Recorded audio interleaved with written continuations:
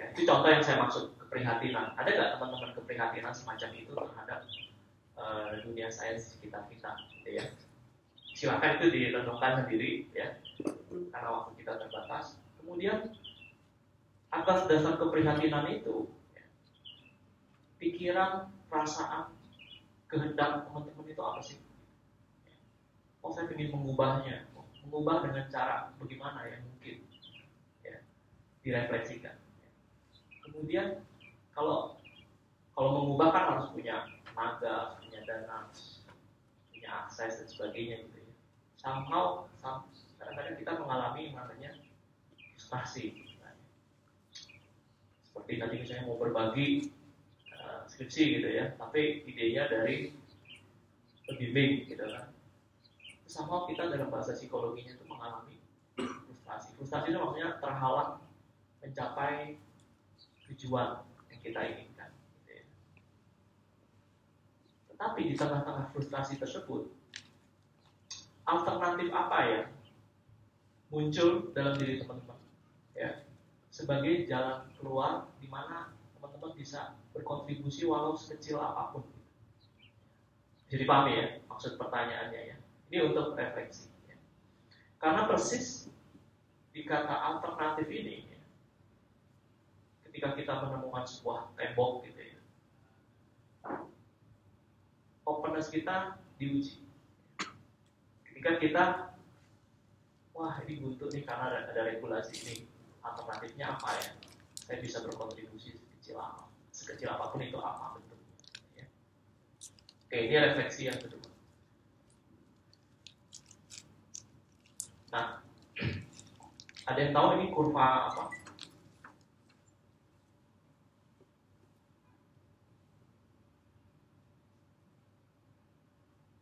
Ada fase-fasenya di sini. Ada pre-departure, on arrival, kemudian honeymoon, follow up orientation, disintegration, reintegration, autonomy, independence, dan ada home country, ya. ada luar negeri. Ini kira-kira kurva apa? Iya, culture shock, betul. Ya. Kita mengalami culture shock biasanya pada saat menghadapi hal-hal yang baru kan ya, benar ya. Seperti ketika menghadapi atau mendengarkan paparan dari Kang Erwin, dari Pak Robert, gitu. Gak mungkin sebagian sudah familiar, tapi sebagian yang baru mendengar, kemudian Iya, harus menentukan sikap-sikap. Benar nggak? Ya. Saya harus bersikap apa? Ini ibaratnya kita mau kuliah nih misalnya ke luar negeri. Pada saat kita kuliah ke luar negeri, maksudnya ketika kita menghadapi sesuatu yang baru, gitu ya. Jadi misalnya tawaran open science, katakanlah, misalnya kita asumsikan sesuatu yang baru. Apa yang biasanya kita alami, gitu ya? Mungkin tidak tertutup kemungkinan kita mengalami fase honeymoon stage. Dengar paparan Pak Robert, Kang Erwin, saya, wah masuk akal itu. Nanti habis pulang dari sini langsung saya buka laptop, langsung saya praktekkan. Gitu. Jadi senang, ada excitement di sini. Ya, itu namanya fase honeymoon. Tapi tidak tertutup kemungkinan yang menyusuli fase honeymoon ketika mahasiswa kuliah di luar negeri apa? Ketika dia excited, oh Belanda kayak gini ya, foto-foto di objek wisata gitu kan ya. Tapi beberapa minggu kemudian apa? Wah, homesick ya, homesick satu. Terus yang kedua apa? Makanan ya, di lidah kayaknya nggak cocok lagi gitu kan. Merasa teralienasi, bener gak? Merasa terasingkan. Tidak tertutup kemungkinan teman-teman setelah mendengar paparan, kita excited, excited gitu ya sampai rumah kita kerjakan gitu ya eh tahu-tahu dosen marahin apaan kamu upload ya kan atau baru ngusulin aja udah dimarahin oleh dosen. Apa kosong tuh yang, yang dipaparkan di Madinah tuh gitu kan? Bisa bisa terjadi sudah seperti itu ya kan? Itu namanya fase disintegration stage tetapi bisa juga naik lagi ke fase reintegration. Ketika misalnya ya, kita pikirkan ya, saya berada di Belanda, itu kasus tadi ya kuliah di luar negeri. Gitu kan. Mencapai apa ya? Nilai-nilai personal saya nilai-nilai pribadi saya yang sejalan dengan aktivitas saya di Belanda itu apa? Oh saya menghargai ilmu pengetahuan oh saya menghargai kebebasan. Aktivitas kuliah saya di situ juga menghargai pengetahuan dan menghargai kebebasan sejalan dengan nilai saya. Lalu saya mulai mengintegrasikan diri saya dengan keberadaan eksistensi saya di Belanda yang tadinya teralienasi dengan segala macam makanan, homesick dan sebagainya. Sama juga dengan embracing katakanlah open science itu. Gitu. Ketika kita mulai wah dimarahin dosen, terbentur regulasi gitu ya, susah naik pangkat gitu, ada bayangan-bayangan semacam itu. Kemudian kita akan merefleksikan nilai-nilai pribadi kita gitu. Mau nggak mau kita harus kembali ke our personal values. Sebenarnya apa yang kita hargai dalam hidup ini gitu kan ya. Oh saya setuju tuh yang Pak Erwin katakan ini ada nilai ibadahnya gitu, berbagi gitu kan. Nah, itu akan terjadi refleksi saudara. Oh, saya setuju tuh ada nilai kebebasan gitu ya. Ibadah, kebebasan, nilai apa lagi? Gitu ya. Sampai kita akhirnya sampai pada taraf otonomi bahkan independen di mana oh ya sudah saya sudah terima nilai-nilai open science gitu ya. Walaupun saya sudah melalui fase honeymoon kemudian disintegration ini ya. Tapi saya mulai membandingkan dengan nilai-nilai personal saya ketemu gitu ya. Pada taraf independen lebih luar biasa lagi saya bisa mengoptimalkan open science itu untuk kebutuhan saya maupun kampanye kepada teman-teman yang lain dan pada fase mastery di penguasaan. Jadi dalam menghadapi segala sesuatu yang sifatnya baru, ya, kita pasti mengalami kurva atau kurva kegegaran ya, gegar ya, gegar budaya ya, kalau culture shock ya terjemahan. Nah seperti ini ya. Jadi ada perubahan apa pun ya, ini saya cerita. Uh, karena mau tidak mau uh, open science memang terfasilitasi dengan adanya ICT bukan ya information and communication technology gitu ya. Ini suatu perubahan disruptif yang ada di depan mata kita gitu ya. Dan selalu ada tahap-tahap kegagalan seperti ini. Ya, tadi sudah saya sampaikan ya. Ketika kita sudah merasa nyaman membangun nilai sendiri ya, terkait dengan keterbukaan ya, kita sudah sampai pada tahap tapi kurva ini bersifat dinamis, saudara ya. Jadi bisa saja nanti balik lagi. Tapi diingat aja bahwa itu sesuatu dinamika kejiwaan atau dinamika psikologis yang wajar ketika, kita menghadapi. Dan setiap orang beda, berbeda-beda ya, baik dalam waktu ya, maupun uh, dalam sikap yang dihasilkan saya kemarin naik suatu online apa, online car ya, online ojek gitu ya, saya nggak usah sebut namanya. Tahu-tahu dibatalin, saya kena fare 42 ribu gitu. Dibatalin sepihak oleh si driver gitu ya. Terus karena dibatalin sepihak itu langsung nyari sendiri saudara di aplikasi itu nyari driver yang lain kan karena saya terkejut karena belum pernah ngalamin sebelumnya gitu. Ini saya pakai aplikasi yang online car yang satu ini jarang banget gitu kan. Satu hal yang baru. Kalau online car yang satu lagi saya sering pakai tapi yang ini jarang. Kemudian karena dia nyari driver yang baru, saya kan terkejut tuh kepotong 42 ribu kan. Kecewa kan saya ya, kecewa. Ya udahlah saya batalin aja lah yang driver kedua ini. Eh kepotong lagi saudara. 42 ribu, jadi 42 ribu kali dua dalam waktu dua menit. Ya. Reaksi pertama saya adalah kesel gitu ya, tentu saja kalau teman-teman dalam situasi tersebut bisa membayangkan. Gitu kan. Terus saya tidak tahu pula pada saat itu ada nomor apa yang bisa dihubungi karena ada ada sih menu kontak atau apa, tapi mesti masuk ke dalam apa kasusnya ini, apalagi sub kasusnya ini, gitu kan. Ceritakan kasusnya, masukin nomor cerita. Saya itu udah apa namanya udah kesel udah mau pulang lagi udah malam-malam gitu kan. Nah orang bisa bereaksi sampai kalau dalam istilah ini mungkin agak agak dalam atau agak depression gitu ya. Sampai hoax udahlah saya nggak mau pakai lagi gitu. Pokoknya online karir satu itu saya nggak mau pakai lagi. Bisa nggak seperti itu? Bisa. Atau cara lainnya apa? Yang saya lakukan kemarin adalah saya mulai mempelajari menu-menunya saya sediakan waktu gitu kan untuk mempelajari menu demi menu masuk lagi ke subkasus gitu kan. Oh ternyata ini hanya berlaku untuk Sumatera dan ini.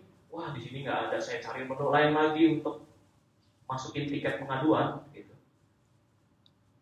Akhirnya saya bikin dua pengaduan gitu ya dan baru dapat reply dua jam kemudian di refund. Baru dari kali dua itu sorry yang 42 ribu yang pertama di refund malam malam kemarin yang 40 ribu baru tadi tadi pagi ya. jadi kita ketika kita menghadapi sesuatu yang baru selalu ada reaksi-reaksi yang kita tiap orang itu bisa berbeda-beda tergantung pada mungkin bagaimana dulu kita di asuh dalam menghadapi tantangan kehidupan gitu ya oleh orang tua atau diurusin segala sesuatunya gitu ya atau kita mau coba lagi atau tidak ya. mau moving forward ya gradual acceptance moving forward atau hostile ya, terhadap sesuatu nah proses saya mau menyediakan waktu dan diri saya untuk mulik-mulik lagi belajar itu dalam psikologi kita sebut sebagai dialectic. Karena ini prosesnya dalam konteks digital, saya tambahkan menjadi dialectic digital. Ya. Dialectic itu dalam bahasa Inggrisnya itu resilience, resilience. Ya. Kalau pengen tahu gambaran konkret dialectic itu kayak bola bola bengkel itu kalau di lempar gitu ke bawah kan, ya, jatuh gitu kan, tapi dia bangkit lagi. Itu pengertian singkatnya resilience. Jadi di antara kurva-kurva ini ya, bagaimana bisa mengalami reintegrasi sampai tahap otonomi, independence ya. Ini ya, bagaimana kita supaya tidak terjebak pada hostility dan depression tapi moving forward itu menurut saya perlu ada yang namanya kita membangun namanya digital resilience. Ya. Digital resilience sendiri ya, resilience ada yang menerjemahkannya sebagai ketahanan ini memang di dunia IT, ICT ini khususnya cyber security ini sudah sudah biasa istilah resilience ini. Ya. Uh, kalau kita baca di sini ya,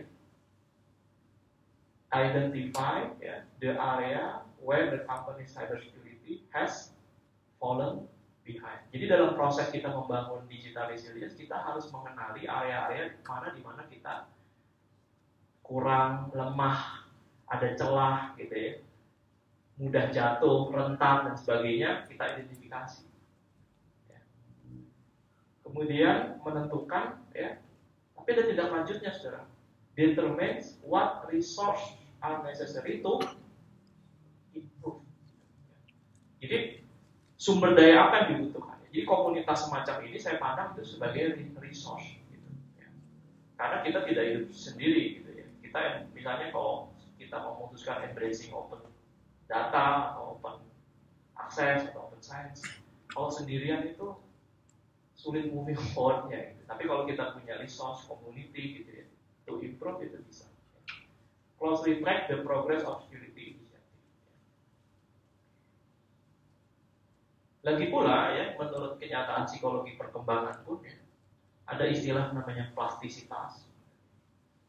Selalu ada yang namanya batas atas dan batas bawah ya, dari rentang plastisitas. Gitu ya. Saya dulu diceritakan oleh dosen Pak saya, saudara mungkin pernah dengar tentang otak kiri, otak kanan gitu ya. Kalau otak kiri fungsinya intelektual ya kan, matematika dan sebagainya. Kalau otak kanan itu apa? Seni ya, bahasa, hmm. bahasa ya di otak kiri sih. Nah, jadi ceritakan bahwa kalau salah satu lokus di otak itu mengalami gangguan atau kerusakan itu seketika itu juga bagian-bagian otak yang lain itu memberikan support atau bantuan. Misalnya fungsi kebahasaan terganggu gitu. Kemudian logus otak yang lain itu mencoba untuk memberikan dukungan atau memberikan bantuan. Ya, itu yang namanya apa? Plastisitas dalam pengertian yang lebih mudah dipahami. Jadi otak kita ya saja bekerjanya seperti itu. Jadi yang bukan fungsinya, misalnya bukan fungsinya matematika, tapi ada mengalami gangguan, dia bisa bagian otak yang lain mengembangkan supaya bisa membantu fungsi itu, fungsi matematika itu. Yang ingin dikatakan dari dari plastisitas ini adalah bahwa dalam konteks keterbukaan kita juga perlu memandang bahwa diri kita itu memang punya sifat, punya nature plastis gitu. Ya.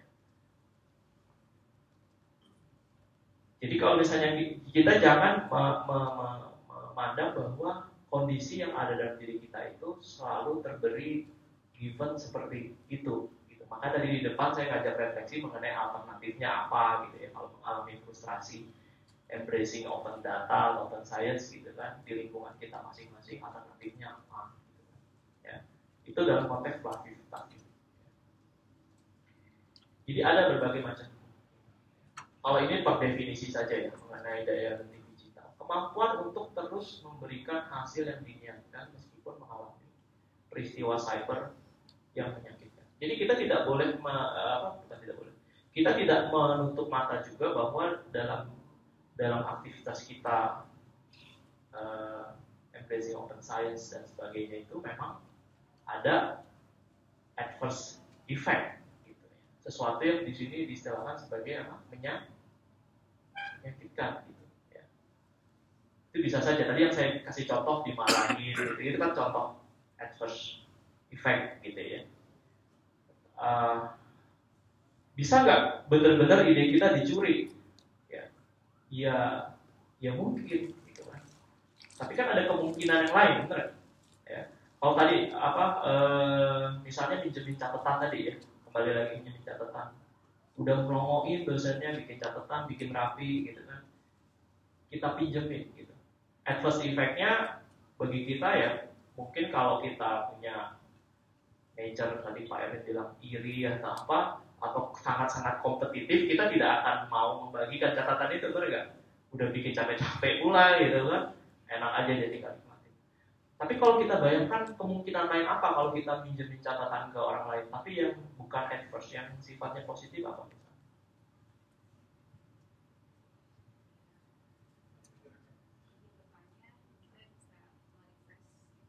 Bertanya dan merefresh. Oke satu hal. Betul ya. Ngingetin lagi gitu kan. Apalagi kira-kira?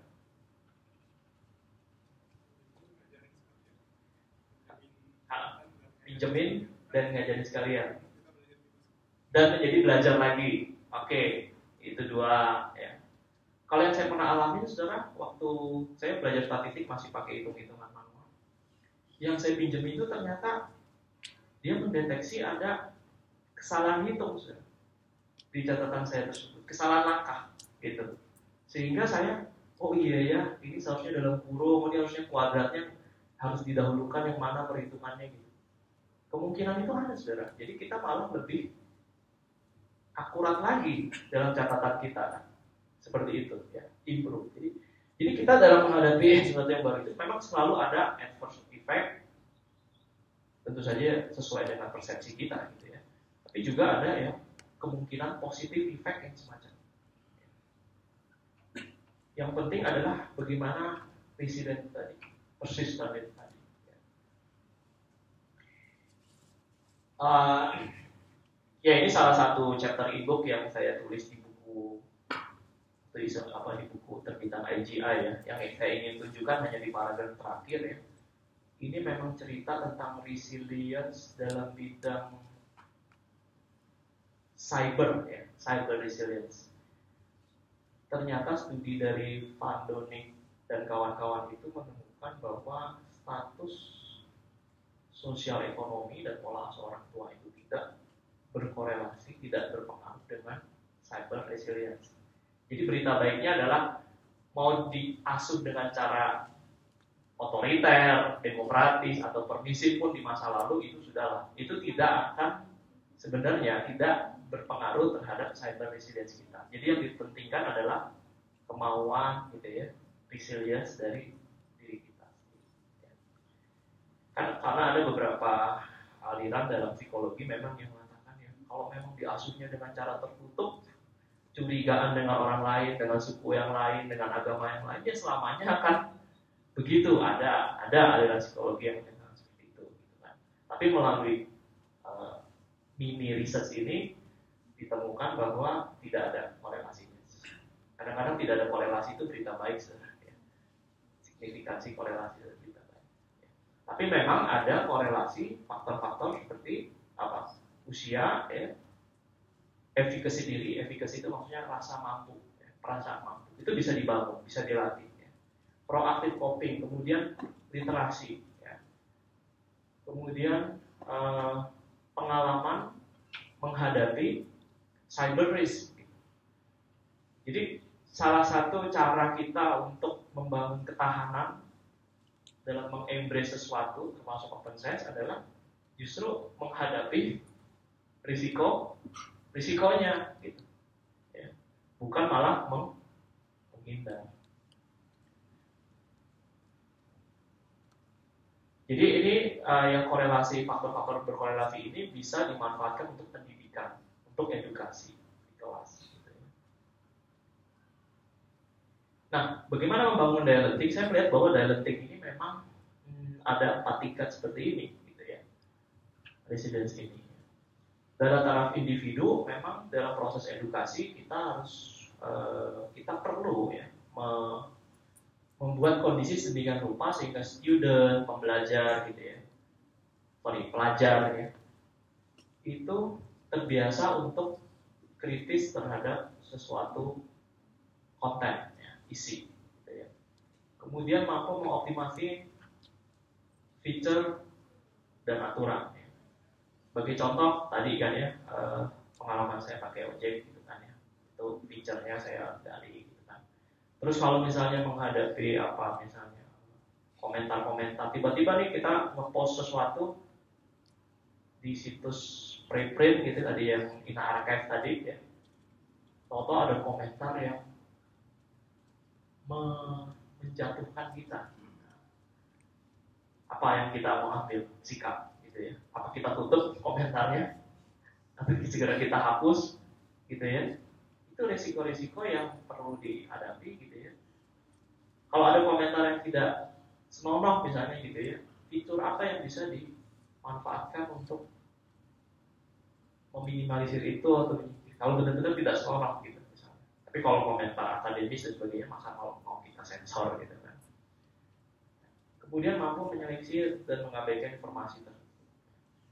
Secara publik juga mampu menciptakan dan mengedarkan diskurs ya wacana.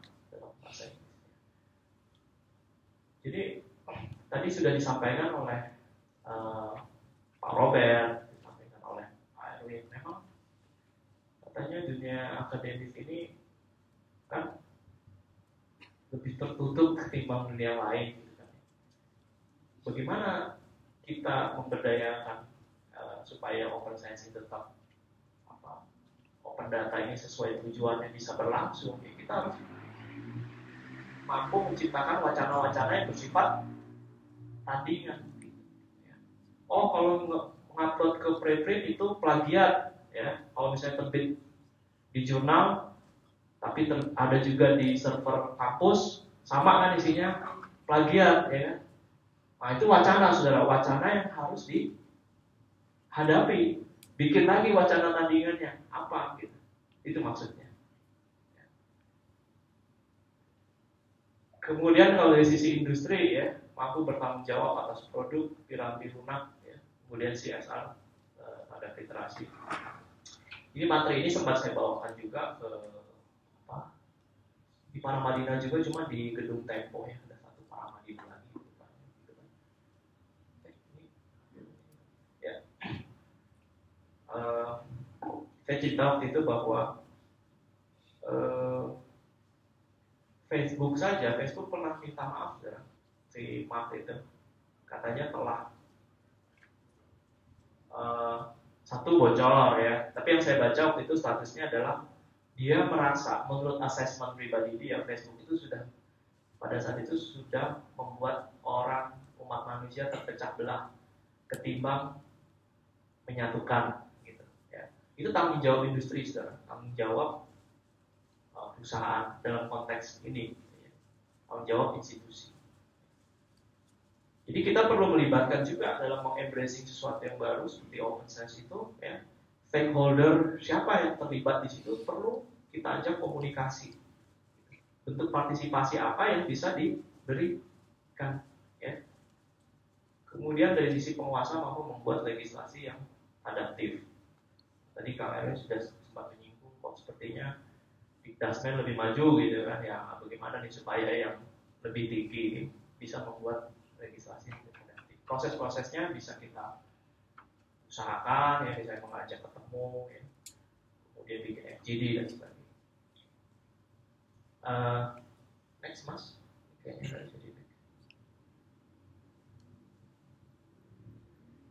Ya, oke. Okay, uh, satu lagi ya. Ini saya sebut sebagai appropriation ya. Dari kata appropriate. Ya. Mungkin pernah dengar teman-teman ya.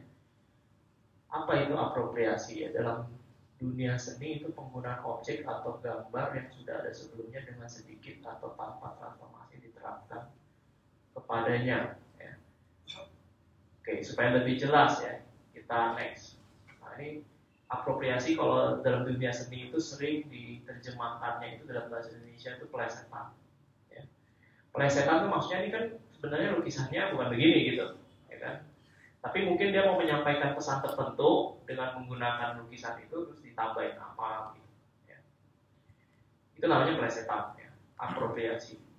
Menggunakan sesuatu tidak sesuai dengan fungsi awalnya, tetapi digunakan sesuai dengan tujuan atau kebutuhan pribadi kita, ya, plesetan, apropriasi. Uh, sebelum sampai di sini ya, saya ambil contoh ya, saya pernah dengar di Batam apa ada ya, kota Batam atau kabupaten ya, Batam, ya. di mana videotronnya yang biasanya buat apa? Videotron yang gede-gede itu biasanya buat tampilin apa iklan ya? Iklan ya? Tapi dipakai oleh pemimpin daerah itu untuk apa tuh bukan kampanye. Sesuatu yang bermanfaat buat masyarakat. Ternyata dia maparin keluar masuknya anggaran sudah.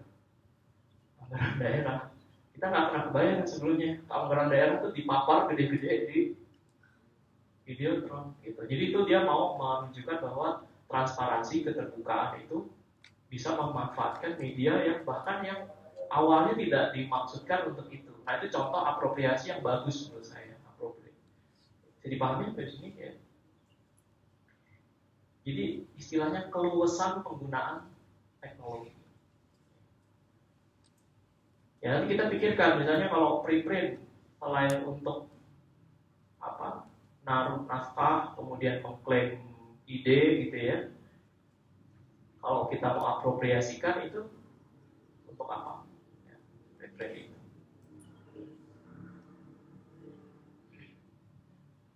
Jadi selain resilience perlu adanya apropriasi istilahnya. Oke, sekarang saya masuk ke sini ya. Ini saya baru apa baca-baca juga buku ini ya, saya ketemu di Kuitang atau salah tahu. Tapi bagus sekali menurut saya ya. Ini ditulis oleh Pak Ignaz Clayton tahun 1987.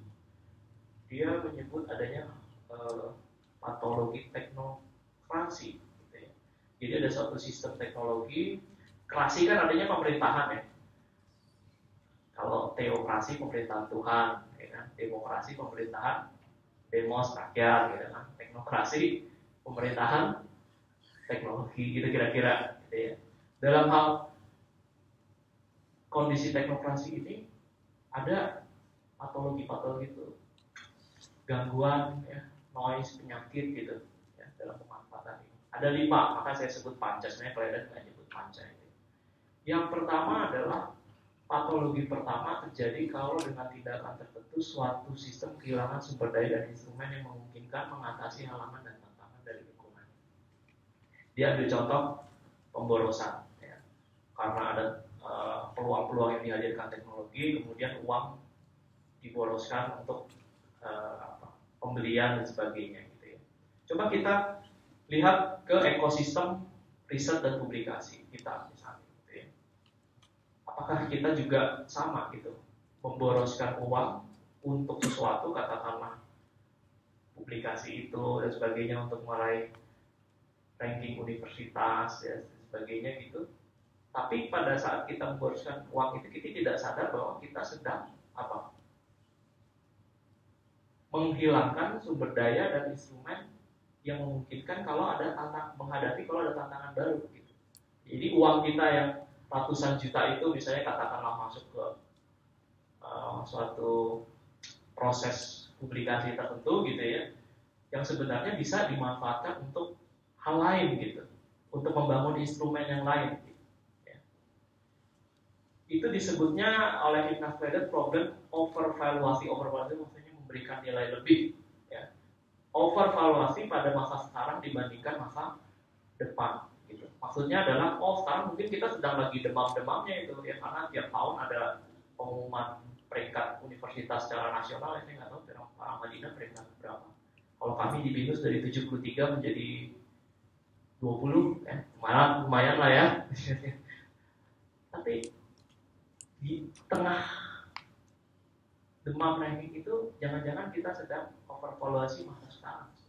Ya. Kita nggak melihat ke masa depan apa pentingnya ranking tersebut. Ya. Dan konsekuensinya kita melakukan pemborosan. Oke, yang kedua, arus informasi dari luar ke dalam sistem diperlambat, diperkecil sehingga menyebabkan timbulnya loss of intake, ya. menurunnya kapasitas saluran informasi yang ada. Ya. Ini maksudnya adalah eh, ketika kita sudah ini, terhadap hal-hal yang familiar ya, yang akrab di sekitar kita ya. Kalau mendiseminasikan pengetahuan ya yang familiar buat kita lewat jurnal. Kalau dulu orang buku ya yang akrab ya jurnal dulu orang belum begitu apa namanya familiar benar gak sih ya. dulu dosen nulis tiga empat buku mungkin cepat tuh akademiknya kalau sekarang tiga empat buku kalau nggak ada artikel jurnal jangan harap gitu kan ya. nah terhadap hal-hal yang familiar ini sehingga membelenggu kita. Kita overvaluasi terhadap itu tadi yang dikatakan Pak Erwin misalnya yang dibikin apa rangkumannya kemudian di lukis, digambar, dibikin bagannya, diupload ke Instagram gitu. Itu untuk mengatasi overvaluasi terhadap hal-hal yang familiar. Ya. Karena overvaluasi terhadap hal-hal yang abstrak itu membuat apa? Loss of impact gitu ya. Kita nggak bisa nggak atau sulit lagi menerima hal-hal yang baru gitu. Kemungkinan kemungkinan baru bahwa komunikasi sains itu tidak hanya berlangsung di jurnal ilmiah, dia bisa melalui tadi melalui blog, bisa melalui Instagram, media sosial, dan sebagainya. Kemudian patologi ketiga disebabkan struktur mekanisme pengawasan tingkah laku ya, yang lebih diutamakan daripada performanya. Jadi mungkin kalau dalam hal ini eh, peran regulator ya lebih dominan gitu. Kita kan ada pengawas tingkah laku ilmiah benar gak ya dalam lingkungan pendidikan tinggi gitu ya. Uh, mungkin kalau di perusahaan ada auditor gitu ya itu sistem pengawasan tingkah laku itu lebih diutamakan daripada performance-nya atau kinerjanya. Gitu, ya. Itu disebut sebagai overvaluasi struktur internal di atas kemungkinan perkembangan. Yang menyebabkan kita tidak cekatan. Ya tadi sudah disinggung juga oleh Kang Erwin gitu ya soal Java, Jawa gitu ya. Ya memang banyak pengambilan keputusan kita di tingkat pusat itu berada berasal dari suku yang dominan gitu ya apa sampai nama-nama seperti Sita, Arjuna dan sebagainya itu kan muncul dalam ekosistem publikasi kita gitu ya riset publikasi kita nah apakah ini akan menimbulkan penilaian yang berlebihan terhadap struktur internal ya, e, regulasi itu sendiri gitu ya, di atas kemungkinan bahwa kita bisa dan seterusnya ya ini saya tidak akan bahas lebih uh, dalam gitu ya. ujungnya adalah ya, kalau kita tidak terbuka itu kita bisa kehilangan kapasitas untuk belajar. Intinya gitu ya mau disampaikan oleh uh, sistem menjadi mandul kaku tidak fleksibel ya bisa melakukan penyesuaian oke okay. next pak jadi itu tadi sudah ya uh, ini sudah next jadi apropriasi itu nanti bicara ya kalau ini teknologi yang bisa tampilkan tapi publikasi riset kita itu ya bagaimana mengapropriasikan itu untuk apa? Selain untuk apanya ya? Mengatasi ketimpangan sosial kan? Meningkatkan demokrasi kan? Kalau tadi kan naik pangkat katanya ya, sama lulus ya, lulus sama naik pangkat atau penilaian atasan baik gitu kan. Tapi bisa nggak kita apropriasikan untuk hal-hal seperti ini? ketika kita bikin suatu riset dalam apalagi sosial riset gitu ya bagaimana dia bisa berkontribusi untuk mengatasi ketimpangan sosial? Pernahkah kita memikirkan hal tersebut? Nah itu apropriasi juga ya uh, ya nah ini contoh apropriasi dalam uh, metode yang tidak biasa untuk apropriasi. Ternyata main main video game tapi being bad ya jadi me, memainkan peran yang buruk gitu ya misalnya jadi penjahat gitu misalnya apa maksudnya ya? Jadi penjahat itu ternyata bisa bikin orang sensitif atau memiliki kepekaan moral gitu ya. ini salah satu cara pemanfaatan video game selama ini kan jangan main game yang ada kekerasannya nanti anda akan niru jadi keras juga gitu kan ya tetapi kalau melalui riset-riset itu ya kita baca bahwa ada ternyata kemungkinan yang lain.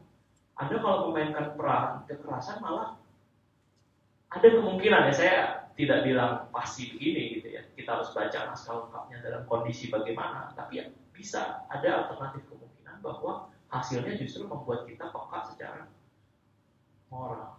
Ini contoh aja untuk uh, menerangkan pikiran kita Jadi berbuat hal yang eh, suatu yang kelihatannya secara normatif salah belum tentu tidak bisa menjadi ajang untuk belajar. Kira-kira pesannya seperti. Pak. Oh tadi yang saya ceritakan juga ya. Eh, oke, okay. peneliti mindset yang terkenal itu sebenarnya namanya Carol Dweck. Dia sudah dari tahun 70, 60 gitu ya. Anda bisa baca nanti dia baru tulis lagi tahun 2019 akhir-akhir ini ini judul artikelnya mindset gitu ya.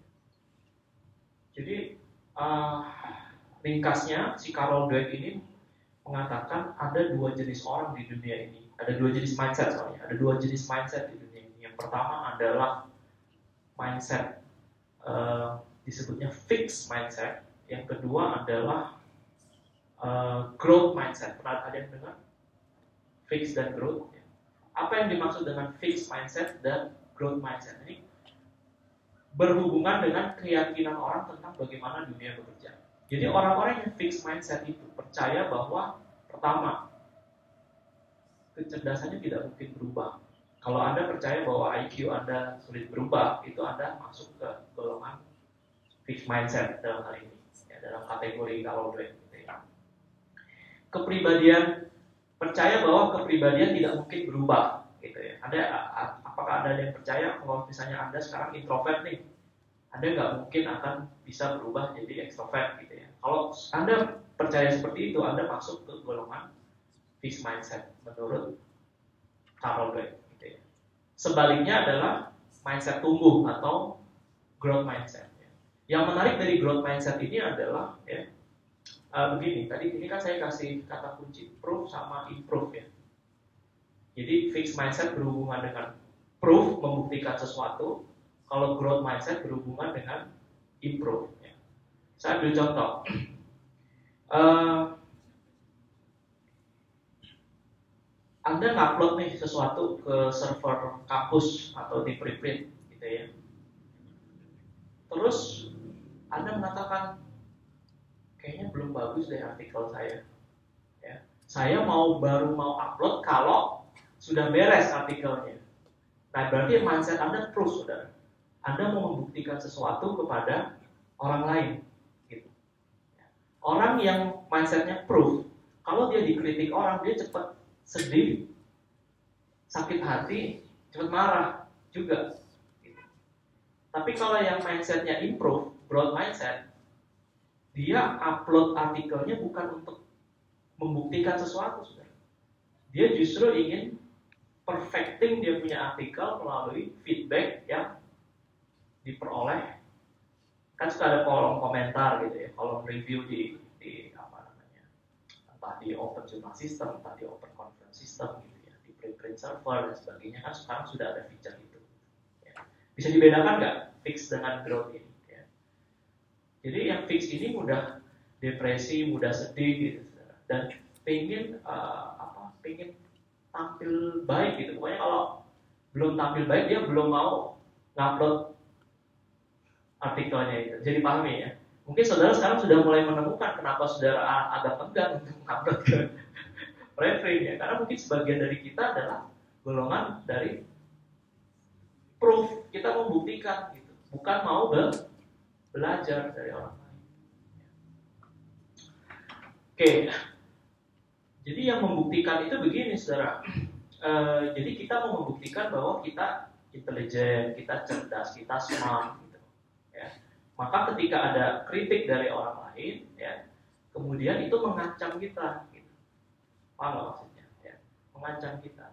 Kalau yang growth beda, dia tidak menganggap itu sebagai ancaman, tapi kesempatan ya, untuk memperbaiki. Ya. Oke. mungkin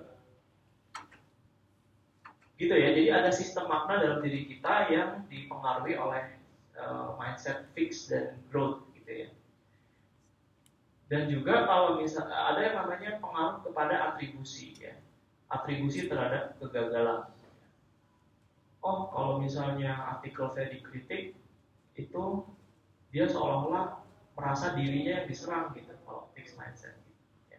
dirinya yang dibilang orang lain dirinya itu seperti ada yang bodoh kamu gitu kan seolah-olah begitu gitu. itu fixed mindset ya. Dan bisa menimbulkan helplessness kalau dia suatu saat kemudian dia percaya ngomongan orang itu dia akan fix ya dia tidak akan mudah berkembang saudara ya sudah sampai di situ saja ya. oke okay. uh, nah mindset ini tergantung pada lingkungan, ya, pada lingkungan.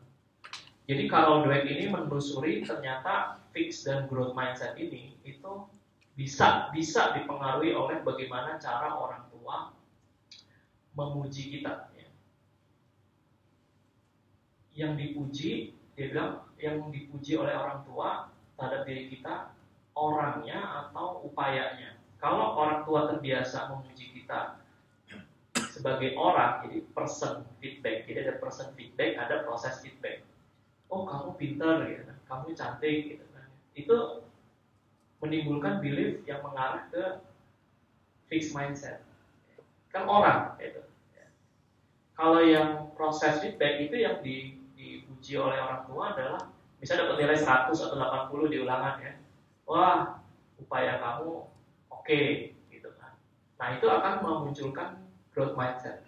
Dari sisi pola asuh penjelasannya seperti itu kalau menurut uh, hasil-hasil studinya. Alan Tapi memang juga uh, bukan muji asal muji ya. Ini kalau muji asal muji ya, itu akan membuat anak memang tidak kompeten gitu. Itu namanya false growth mindset. Gitu. Nanti silahkan dibaca di artikelnya.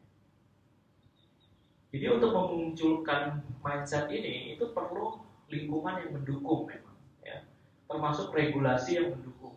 Ya. Sebenarnya sudah pernah uh, kami tuliskan ya di artikel sebuah artikel nanti slide-nya uh, bisa dibagikan gitu. mengenai growth dan fixed mindset ini bisa bisa anda baca. Jadi yang ingin saya sampaikan ya poin terakhir adalah orang yang growth mindset itu paham bahwa yang namanya knowledge, namanya pengetahuan itu selalu berada dalam krisis apa yang saya maksud berada dalam krisis? Ya dia memang pengetahuannya selalu dinamis. Ya.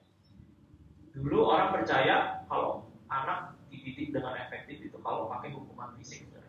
Maka guru kita bisa ngomongin atau bisa mukul jari kita kalau kuku kita panjang itu yang di dulu ya. Kemudian ada pendapat kan yang berkembang kan, oh nggak boleh mukul anak sama sekali gitu kan. Sampai yang terakhir yang saya dengar adalah boleh mukul asal ada syarat-syaratnya kapan mukul. Gitu ya.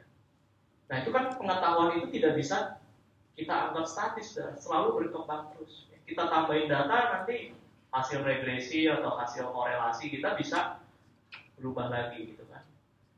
Bahkan ilmu-ilmu apa pengetahuan-pengetahuan yang sudah stabil dalam psikologi misalnya kalau lagi sedih pasang wajah senyum nanti akan timbulkan emosi positif pada seperti itu. Senyum aja walaupun lagi. Ternyata diulang saudara tidak menemukan hasil yang kokoh. Ternyata tidak seperti itu juga. Terus ada lagi eksperimen dalam psikologi itu katanya nyuci tangan bisa menghapus rasa bersalah. Jadi habis habis melakukan sesuatu yang berdosa cuci tangan sudah bisa. Ternyata diuji diulangin lagi eksperimennya itu tidak terjadi. Jadi kita harus memahami bahwa yang namanya pengetahuan memang selalu berada dalam krisis, krisis pengetahuan. Kita, kalau yang fixed mindset itu menganggap ya udah pengetahuan yang kalau sudah ditemukan signifikan korelasi positif, ya itu selamanya gitu. Ya. Jadi pahami ya, saudara. Terakhir adalah uh, saya baca ini ada tahun 2009 berarti 10 tahun yang lalu ada seorang penulis di Phnom Penh Post itu bicara tentang open society di Kamboja gitu ya. Jadi yang depannya open open ini sekarang udah banyak ya. Open data, open science, open access, open source ya. ya menuju suatu masyarakat terbuka, open society ya. Orang ya yang nulis seorang guru sih saya, seorang guru sekolah gitu ya. Dia bilang bahwa eh, Kamboja udah saatnya menuju open society. Tahun 2009 10 tahun yang lalu ya? Dan dia definisikan seperti ini ya dia mengutip dari Henry Bergson ya. In open society government is responsible responsive and tolerant and political mechanism are transparan dan fleksibel. Jadi mekanisme politik itu transparan dan fleksibel ya. ketika saya baca ini saya terikat saya baca di Twitter yang lalu, uh, beberapa hari yang lalu bahkan saya retweet konon katanya revisi undang-undang ketenaga kerjaan itu sekarang sedang berlangsung kan ya katanya draftnya susah dicari sudah ya saya sampai pikir apa benar gitu draft sepenting draft revisi undang-undang ketenaga kerjaan itu memang tidak ada gitu. jadi kalau kita googling gak akan ketemu gitu apa benar seperti itu gitu kan nah itu kan bertentangan dengan semangat dari uh, open society ya. uh, Ya tadi uh, di Pak Robert juga sudah mengemukakan tentang trust ya tadi dia soal trust tadi dia sebutkan ya. Kebetulan penulis ini juga menyinggung open society dihubungkan dengan fixed mindset dan growth mindset. Ya. Dia bilang bahwa with fixed mindset maksudnya orang-orang Kamboja pada saat itu dia nilai kebanyakan orang dengan fixed mindset. They spend a lot of time worrying about such as apakah am I a good enough gitu ya. How can I believe you? Why should I trust you? Memang dalam penelitian-penelitiannya itu ditemukan oleh Carol Dweck bahwa orang dengan fixed mindset itu gampang berprasangka terhadap seseorang. Mudah men, uh, mudah menjadikan stereotip sebagai kebenaran juga. Kan setiap suku, agama atau kelompok sosial apa pun kan ada stereotipnya ya.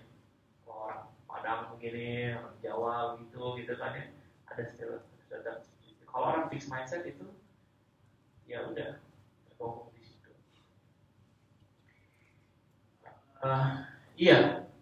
Pada akhirnya itu yang ingin saya sampaikan kita perlu uh, dari sisi mindset kita perlu mensosialisasikan mensosialisasikan menularkan gitu ya uh, dalam institusi kita masing-masing bahwa uh, growth mindset perlu dikembangkan gitu ya. Kita perlu memahami bahwa pengetahuan selalu berada dalam krisis ya, berdinamika dan kita perlu toleran terhadap hal-hal yang sifatnya ambigu gitu ya yang kurang jelas kita perlu ada toleransi dalam. Jadi waktunya sudah ini kita langsung tanya jawab ya.